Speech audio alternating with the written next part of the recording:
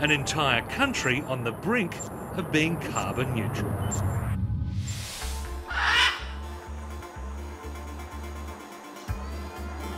Costa Rica is an unlikely success story. A peaceful, natural paradise that escaped the wars of Central America. It's now aiming to stop using fossil fuels within six years. There's a real commitment and seeing that from people that work in the industry but also people that live in the environment, they care about their country. They know that it has a value, it has an economic value, and they can see people coming to explore the area and they see that as a really good thing.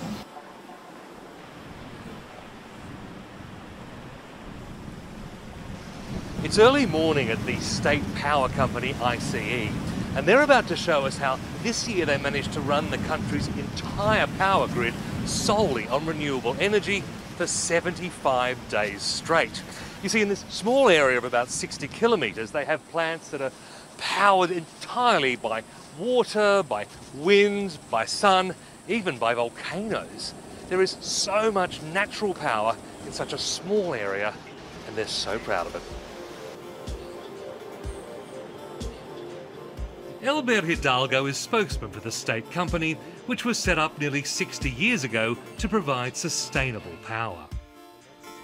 cuya misión específica era generar energía, garantizar la electricidad a todo el país, usando la naturaleza, pero obligándose a proteger la naturaleza para el futuro.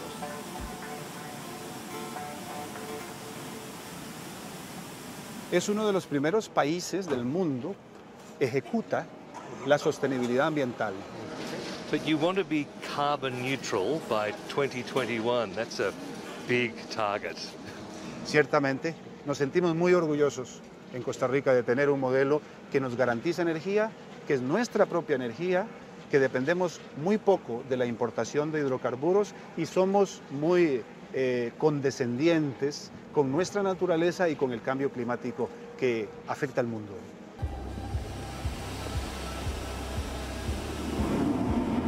Not every country is lucky enough to have Costa Rica's natural energy.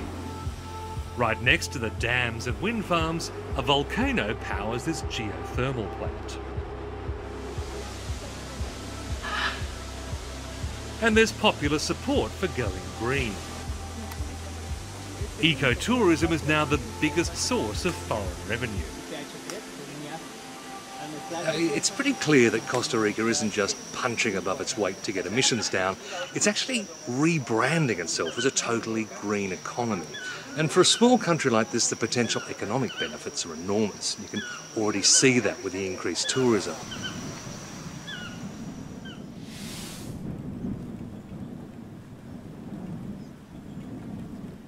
Donald Varela Soto and his wife Pip run a small farm and a tourist lodge. I think Costa Rica is one of the, of the few countries in the world who has set standards very high for conservation and the environment. Why do you think little Costa Rica is so determined to do something about this? Why is it so important here? I think it's related to two things. One is having very smart people very long time ago who decided to not just cut everything and be productive in terms of agriculture and development industrial. People that decided that instead of having an army, they wanted to have education and conservation and really good health uh, care system. And um, that, over the years, that was empowered by the development of the tourism, the ecotourism in the area.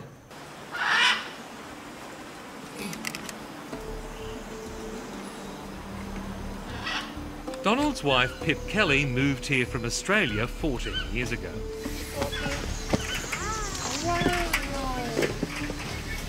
It's beautiful. This is what the monkeys see when they're up in the trees.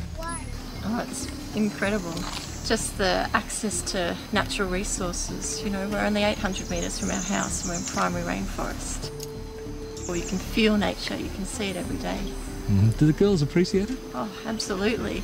They learn from the first day of school that we have to look after our natural resources. It can be quite depressive sometimes looking back at Australia and looking at um, investment in coal and other industries that perhaps aren't very good for our future or even our current generations. And I really hope that people can learn from Costa Rica and other countries that are investing in renewable energies.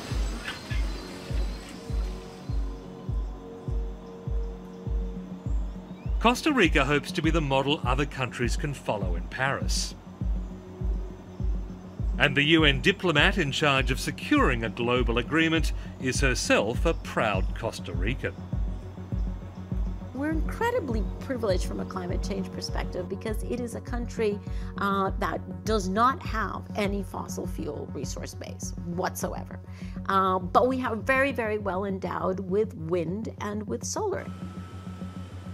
Science has been very, very clear that 75% uh, of the fossil fuel reserves actually need to stay in the ground. And what that means for coal, which is the most, uh, the most uh, carbon intensive, is that no new coal uh, can come on online if we're going to stay within, uh, within two degrees or under that. And that's why Paris is so important. The UN's climate change negotiations aim to limit global warming to 2 degrees Celsius above pre industrial times. That would mean serious changes to the way the world gets its energy.